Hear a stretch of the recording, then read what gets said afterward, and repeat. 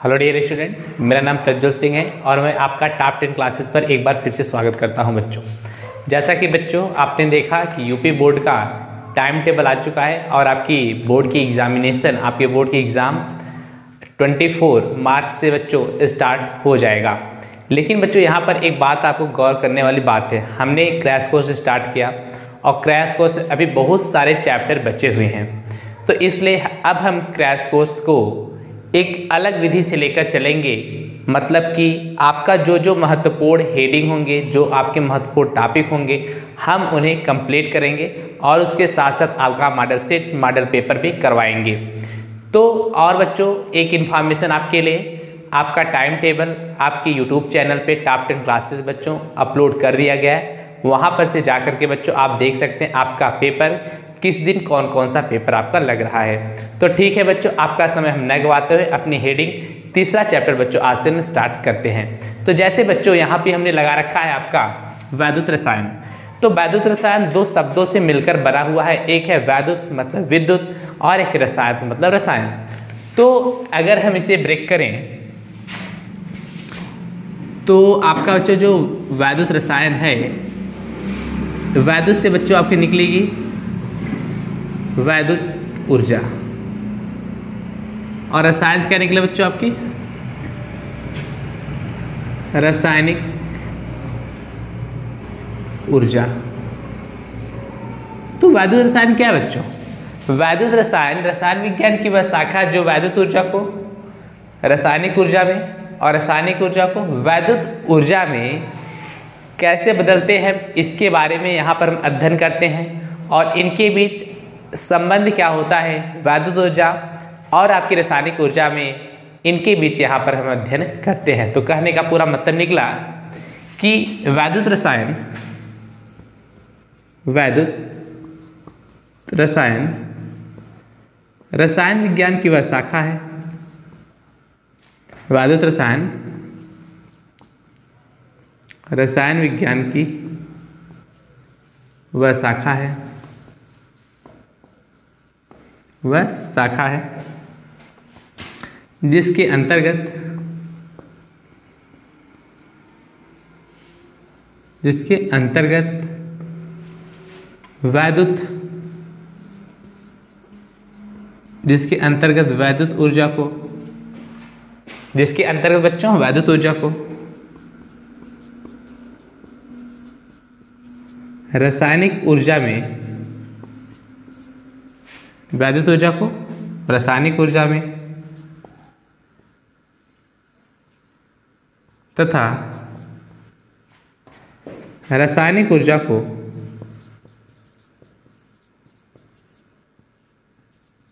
तथा रासायनिक ऊर्जा को वैद्युत ऊर्जा में अंतर परिवर्तन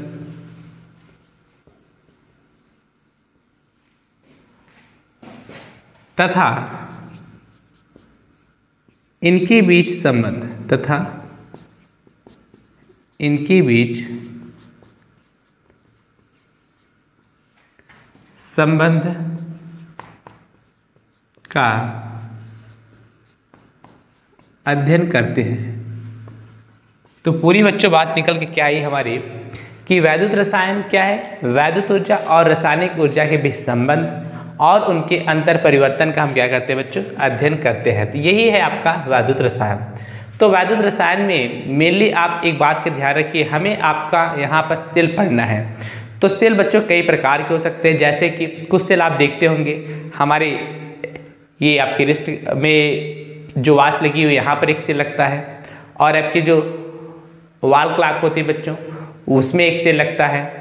और आपके घर में जो इन्वर्टर रखे हुए हैं बच्चों, जो उसकी बैटरी रखी हुई है, जिसे हम बैटरा कहते हैं, वहाँ का जो सेल है तो अलग अलग प्रकार के बच्चों हम यहाँ पर सेल देखेंगे। तो सेल होता क्या है? सबसे पहले आओ, हम इसको जानें। तो बच्चों, जैसे कि हम बात करें सेल क्या है? जैसे कि बच्चों, हमारे घर में एक बैटरा रखा होता है, और हम देखते हैं कि जब इलेक्ट्रिक आती है, जब विद्युत आती है तो हम उसे क्या करते हैं? बच्चों चार्ज करते हैं। और जब आपके घर पे लाइट चली जाती है तो उसी बैटरी से, उसी बैटरा से हम इलेक्ट्रिक पाते हैं। तो क्या कर रहे बच्चों? हम यहाँ पर देख रहे हैं कि कोई आपका क्या है यहाँ पे? जैसे बैटरी है बच्चों। और इस बैटरी से बच्चों हमने इसे कैसे चार्ज कर लिया है? ये आपकी क्या है? बैटरी है। और इस बैटरी को हमने चार्ज कर लिया है, और जब विद्युत नहीं है तो ये किसका काम कर रहा है बच्चों? विद्युत का काम कर रहा है। तो सबसे पहले इसमें हमने क्या किया? तो सबसे पहले विद्युत ऊर्जा को हमने किसमें चेंज किया बच्चों? रासायनिक ऊर्जा में। और जब आपकी विद्युत नहीं रही तो हम रासायनिक ऊर्जा किसमें चेंज करें बच्चों? विद्युत ऊर्जा में। किसमें बच्चों? यहाँ हमने ले लिया आपका रासायनिक ऊर्जा। तो रासायनिक ऊर्जा किसमें चेंज करें बच्चों? विद्युत ऊर्जा में। और जो आपकी लाइट है तो हमने विद्युत ऊर्जा किसमें चेंज करें आपका? रासायनिक ऊर्जा में। तो कहने का पूरा मतलब क्या निकला? तो सेल क्या है बच्चों? सेल एक युक्ति है। सेल एक युक्ति है जो विद्युत ऊर्जा को रासायनिक ऊर्जा में परिवर्तित करती है और रासायनिक ऊर्जा को विद्युत ऊर्जा में परिवर्तित करती है। तो सेल क्या है बच्चों? तो सेल एक भौतिक युक्ति है। सेल एक भौतिक युक्ति है जो विद्युत ऊर्जा को, जो विद्युत ऊर्जा को रासायनिक ऊर्जा में, रासायनिक ऊर्जा में, तथा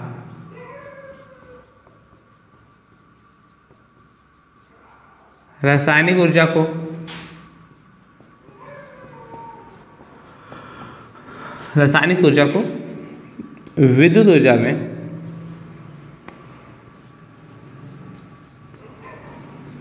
विद्युत ऊर्जा में परिवर्तित करती है। तो सेल क्या है बच्चों? सेल आपका एक युक्ति है, जिसके द्वारा हम क्या करते हैं? विद्युत ऊर्जा को रासायनिक ऊर्जा में और रासायनिक ऊर्जा को विद्युत ऊर्जा में क्या करते हैं बच्चों? परिवर्तित करते हैं। तो ये बच्चों आपका क्या है? सेल। और आपको कुछ सेल पढ़ने हैं। अगर हम बच्चों सेल के प्रकार की बात करें, सेल के प्रकार। तो सेल के बच्चों, यहाँ पर आपके सिलेबस के हिसाब से दो सेल हमें देखना है। एक आपका देखना है बच्चों गैल्वेनिक सेल गैल्वेनिक सेल जिसको हम क्या कहते हैं बच्चों, आपका बोल्टी सेल भी। जिसको हम क्या कहते हैं बच्चों, आपका बोल्टी सेल कहते हैं। और एक होता है बच्चों, आपका विद्युत अवघटनी सेल। विद्युत अवघटनी सेल।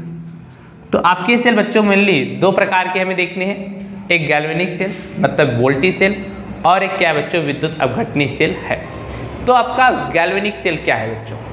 तो गैल्वेनिक सेल ऐसा सेल होता है, एक ऐसी भौतिक युक्ति होती है बच्चों, जो आपकी रासायनिक ऊर्जा को विद्युत ऊर्जा में बदलती है।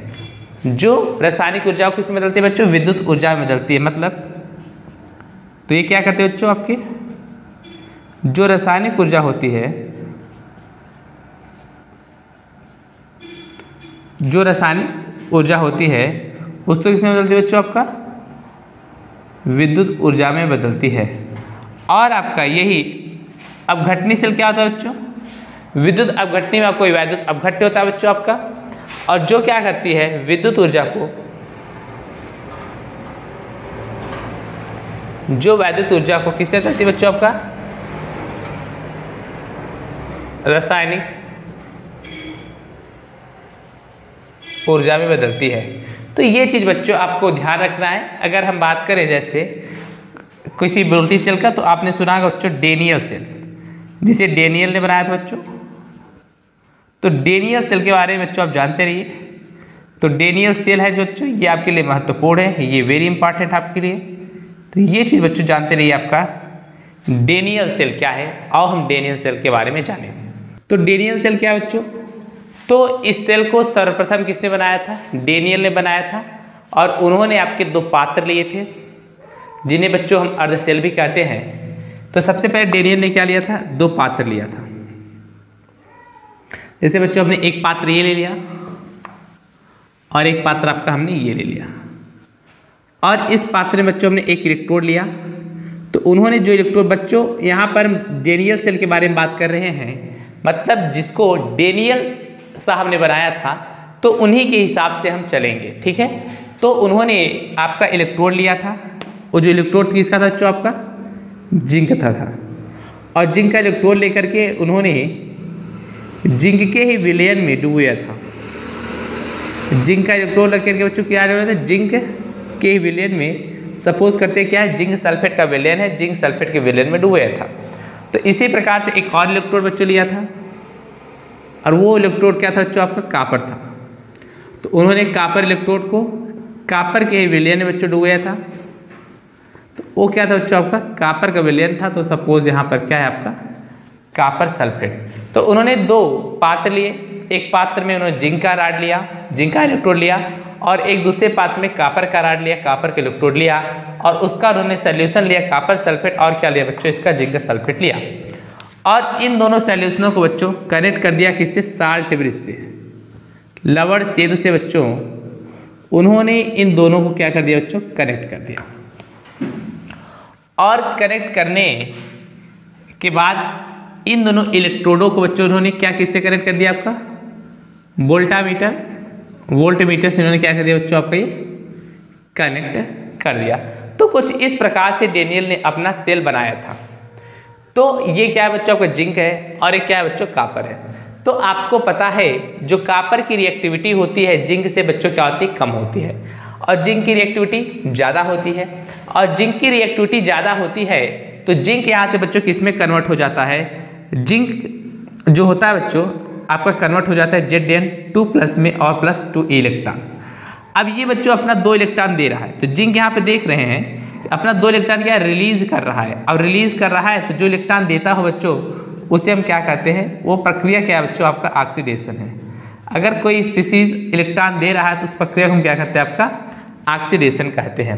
जैसे बच्चों, यहाँ पे देखिए कापर सल्फेट है तो कापर क्या करता है? इसकी रिएक्टिविटी कम होती है। तो कापर क्या था कापर दो इलेक्ट्रॉन को लेकर के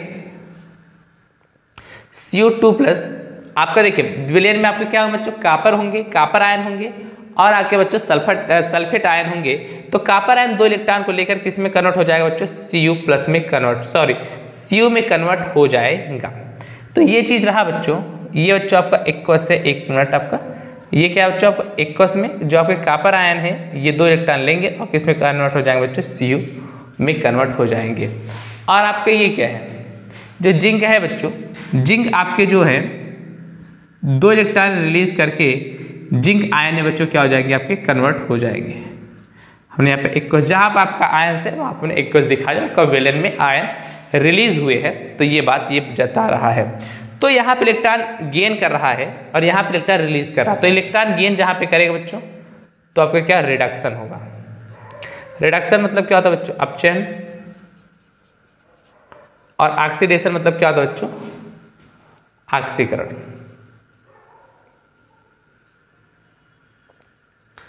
ऑक्सीडेशन मतलब क्या होता है बच्चों आपका?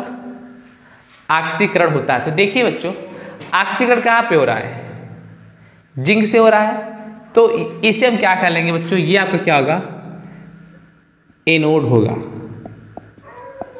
क्या होगा बच्चों आपका? एनोड होगा। और रिडक्शन कहाँ पे हो रहा है बच्चों? कापर पे हो रहा है? कापर वाले इलेक्ट्रोड पे? तो इसे क्या करेंगे बच्चों हम? कैथोड कहेंगे। क्योंकि यहाँ बच्चों क्या रिडक्शन हो रहा है? तो कहेंगे क्या बच्चों आपका कैथोड कहेंगे। तो एनोड क्या है बच्चों? तो एनोड बच्चों क्या हमने देखा? जहाँ पर ऑक्सीडेशन हो। अगर जिस इलेक्ट्रोड पे ऑक्सीडेशन होगा, जिस इलेक्ट्रोड का ऑक्सीडेशन होगा, उससे हम क्या कहेंगे बच्चों? एनोड कहेंगे। और जहाँ पे आपका रिडक्शन होगा बच्चों मतलब रिडक्शन तो मतलब क्या बच्चों? अपचयन जहाँ पर होगा, उससे हम क्या कहेंगे बच्चों? कैथोड कहेंगे। तो इतनी बात डेनियल ने बताया था। अब बच्चों बताइए कि यहाँ पर आपकी कापर की रिएक्टिविटी ज़्यादा है तो कापर की रिएक्टिविटी ज़्यादा होने के कारण कापर जो आयंस रिलीज़ करेंगे, दो इलेक्ट्रॉन पर रिलीज़ करें तो आयन का फ्लो होगा बच्चों। और जो आयन का फ्लो होगा तो आयन्स आपके जिंक इलेक्ट्रोड से इधर चलेंगे आपके, कापर इलेक्ट्रोड की तरफ़ चलेंगे। और जब ये कापर इलेक्ट्रोड की तरफ़ चलेंगे बच्चों तो आपकी विद्युत धारा जो है इलेक्ट्रॉन इधर फ्लो रह रहे हैं अगर आपके इलेक्ट्रॉन इस साइड फ्लो हो रहे हैं कापर की तरफ़ फ्लो हो रहे हैं तो आपकी जो विद्युत धारा आई होगी तो किधर फ्लो होगी बच्चों? उसके विपरीत फ्लो होगी। तो इस प्रकार से उन्होंने अपनी संरचना बनाया था। ये रहा आपका डेनियस सेल। तो डेनियस सेल के बारे में अगर बच्चों हम लिखना चाहें तो क्या लिख सकते हैं? तो कुछ चीज़ें यहाँ पर हम आपको बता रहे हैं। तो बच्चों देखिए, यहाँ पर आपका हमने डेनियस सेल को बना दिया। और डेनियस सेल को बनाकर साल्ट ब्रिज लवर सेत और वोल्टामीटर, वोल्टमीटर यहाँ पे कनेक्ट कर दिया है। तो इसको बच्चों हमें एक्सप्लेन करना है, ये है क्या? तो सबसे पहले क्या है बच्चों? तो डेनियल सेल की यदि हम क्रियाविधि की बात करें तो डेनियल सेल में दो पात्र होते हैं। सबसे पहला पॉइंट बच्चों क्या है? डेनियल डेनियल सेल में डेनियल सेल में दो पात्र होते हैं। क्या कितने पात्र बच्चों? दो है ना? एक आपका ये है बच्चों और एक क्या आपका? ये है। दो पात्र होते हैं और इन्हीं पात्रों को बच्चों क्या कहते हैं? अर्ध सेल कहते हैं। इन्हीं पात्रों को बच्चों क्या कहते हैं? ये भी आपका अर्ध सेल है और ये भी बच्चों क्या आपका अर्ध सेल है। तो डेनियल सेल दो पात्र होते हैं, जिन्हें जिन्हें बच्चों क्या कहते हैं आपका? जिन्हें अर्ध सेल कहते हैं। ठीक? तो पहले पात्र में देखिए बच्चों, पहले पात्र में हम जिंक की राड को, जिंक के इलेक्ट्रोड को, जिंक सल्फेट के वेलन में रखते हैं। तो क्या बच्चों? सेकेंड पॉइंट पहले पात्र में जिंक के इलेक्ट्रोड को जिंक के, इलेक्ट्रोड को, जिंक सल्फेट के, जिंक सल्फेट के विलयन में रखते हैं। और थर्ड पॉइंट क्या है बच्चों? दूसरे पात्र में हम कापर को कापर सल्फेट के विलयन में रखते हैं। थर्ड पॉइंट क्या बच्चों? दूसरे पात्र में कापर को कापर सल्फेट के विलयन में रखते हैं। ठीक बच्चों और दोनों पात्र को हमने किससे जोड़ रखा है बच्चों? लवड़ सेतु। इसे साल्ट ब्रिज लवड़ सेतु कहते हैं। और इसको क्या कहते हैं बच्चों? वोल्ट मीटर कहते हैं। Voltmeter. तो यहाँ हम लिख सकते हैं, रखते हैं। तथा दोनों तथा दोनों अर्धशिलों को लवड़ सेतु तथा वोल्ट मीटर वोल्ट मीटर से जोड़ देते हैं। तो ये रही बच्चों, इसकी जो संरचना है, इसे हम कैसे बनाए हैं तो इसके बारे में बच्चों यहाँ पर हमने लिख लिया। और इसका मैकेनिज्म क्या, कैसे वर्क करता है, और इसके बारे में बच्चों में यहाँ पे जान लेते हैं। चूँकि चूँकि जिंक की रिएक्टिविटी क्रियाशीलता चूँकि जिंक की क्रियाशीलता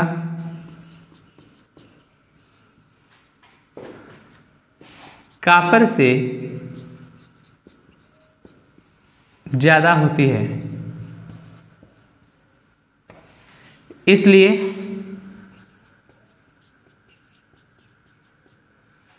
इसलिए जिंक। अपने दो इलेक्ट्रॉन। अपने दो इलेक्ट्रॉन छोड़ता है जो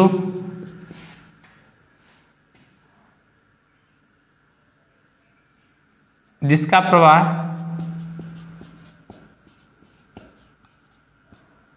जिसका प्रवाह कापर इलेक्ट्रोड की तरफ़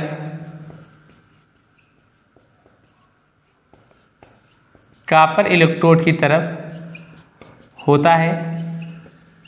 इसका प्रभाव कहाँ होता है बच्चों? कापर इलेक्ट्रोड की तरफ़ होगा और आपको पता है इलेक्ट्रॉन इधर बहेंगे, विद्युत धारा उसके विपरीत बहेगी। तो विद्युत का प्रवाह इसके विपरीत इसके विपरीत अर्थात कापर से, जिंक की तरफ़, कापर से जिंक की तरफ़ होती है। तो ये बच्चों आपका मैकेनिज्म रहा, इसकी क्रियाविधि क्या है बच्चों? तो यहाँ पर हमने लिख लिया। अब हम बात करते हैं बच्चों, यहाँ पर जो रिएक्शंस हो रहे हैं, जो ऑक्सीडेशन हो रहा है रिडक्शन हो रहा है इन क्रियाओं को हम देख लेते हैं।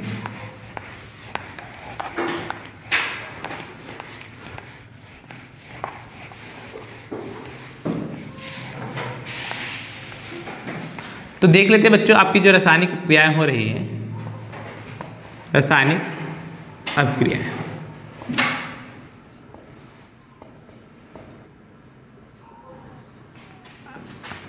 रासायनिक अभिक्रियाएँ। तो बच्चों, आप ध्यान दीजिए। ये आपका ऐसे ऐसे होगा। रासायनिक अभिक्रियाएँ। तो बच्चों, यदि हम बात करें एनोड पर। एनोड पर क्या हो रहा है बच्चों? जो आपका जिंक है, जो आपका क्या है? जिंक है, वह कन्वर्ट किसमें हो रहा है? जेड एन टू प्लस में।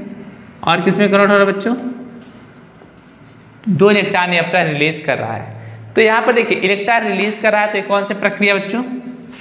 ऑक्सीकरण और जहाँ पे आपका ऑक्सीकरण होगा तो उसे हम क्या कहें बच्चों? एनोड कहेंगे। और कैथोड पे क्या रहा है बच्चों? कैथोड पर बताइए आप। तो कैथोड पे हम देख रहे हैं, आपका जो कापर है तो इलेक्ट्रॉन क्या एक्सेप्ट कर रहा है। तो जो आपके कापर साइन है सोल्यूशन के, दो इलेक्ट्रॉन एक्सेप्ट करके किसमें कन्वर्ट हो रहे हैं बच्चों आपका? जो कि कापर आयन है सोल्यूशन के, वो दो इलेक्ट्रॉन एक्सेप्ट करके किसमें कन्वर्ट हो रहे हैं आपका? CO में कन्वर्ट हो रहे हैं बच्चों। अगर हम संपूर्ण अपक्रिया लिखना चाहें बच्चों टू यहाँ पर और टू यहाँ पर। अगर बच्चों हम आपकी संपूर्ण अपक्रिया लिखना चाहें, यहाँ पर अगर बच्चों लिखें हम आपका, संपूर्ण अभिक्रिया तो संपूर्ण अभिक्रिया क्या होगी बच्चों? यहाँ पर देखिए Z N S plus C U plus A Q equal to sorry arrow का साइन लगाए बच्चों। Z N two plus A Q plus C U और एस तो ये बच्चों ध्यान में रखिएगा, ये आपका सेल की अपक्रिया है। ये क्या है बच्चों आपका? सेल के लिए जो अपक्रिया है तो यहाँ पे बच्चों हमने लिख लिया। और सेल को रिप्रेजेंट कैसे करेंगे बच्चों? आप खुद ही बताइए। जो आपका जिंक है कन्वर्ट किसमें हो रहा है? जेड टू प्लस में। और इसके बाद जो इलेक्ट्रॉन का आदान प्रदान किया और साल्ट ब्रिज से हो रहा है तो साल्ट ब्रिज में लगाया। तो इसके बाद जो आपका कापर आयन है, दो इलेक्ट्रॉन लेकर के किसमें कन्वर्ट हो रहा है बच्चों? सीयू में कन्वर्ट हो रहा है। तो यही है क्या? सेल के लिए रिप्रेजेंटेशन है बच्चों। सेल का निरूपण है। तो सेल का ये रहा बच्चों निरूपण। तो यहाँ से बच्चों ये इंपॉर्टेंट है आपका। और डेनियल सेल बच्चों आपके लिए इंपॉर्टेंट है। इसलिए बच्चों, आप डेनियल सेल रेडी रखिएगा। डेनियल सेल का स्ट्रक्चर कैसा है?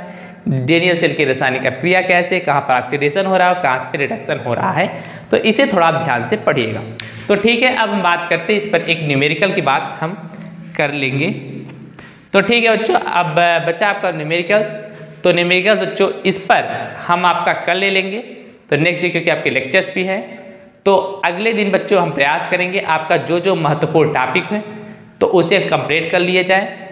और अगर आपको बच्चों वीडियो पसंद आई हो तो वीडियो को आप लाइक कीजिए कमेंट कीजिए, अपने दोस्तों में शेयर कीजिए।